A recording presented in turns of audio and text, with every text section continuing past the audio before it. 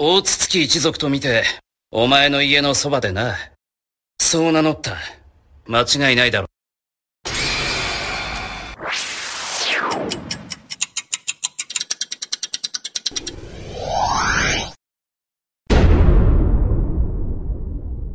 おんぶだ。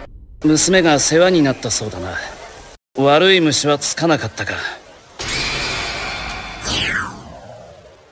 具体的にはどうしたらいい？話したのは数人だけだ。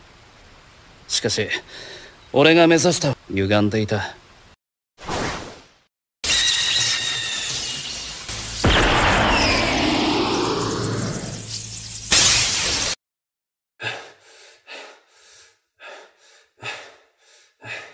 また今度だ。お前のガキにもあった。昔のお前そっくりだったな。こいつ、いつの間にあんなに伸びたんだ？死んでその後はどうなる？ようなら済んだ。俺はまだ。そんなに俺に借りを作りたくねえならな。だったな。やれない。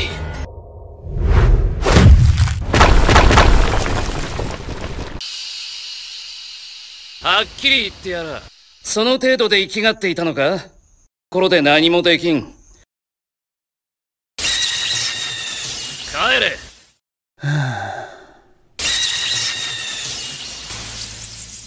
千鳥よ。お前のガキにもあった。昔のお前そっくりだったな。赤いクラは大筒木一族と見て、お前の家のそばでな。手に入れる。イタチ。あんたを殺すためなら。たくなかったが、未来になんかない。俺に力を。お前のガキにもあった。昔のお前そっくりだったな。お前の部下を預かるんだ。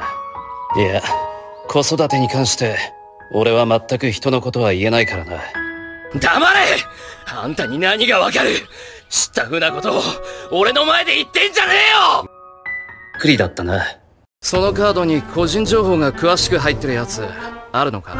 桜が俺の妻だということは、他の連中には秘密にしておいてくれ。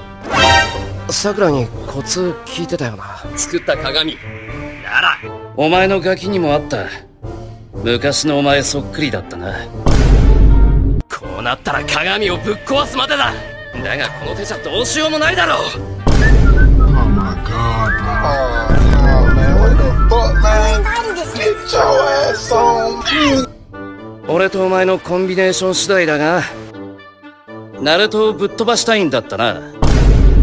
カルト見ていい。カルト見ていい。見つかると見ていい。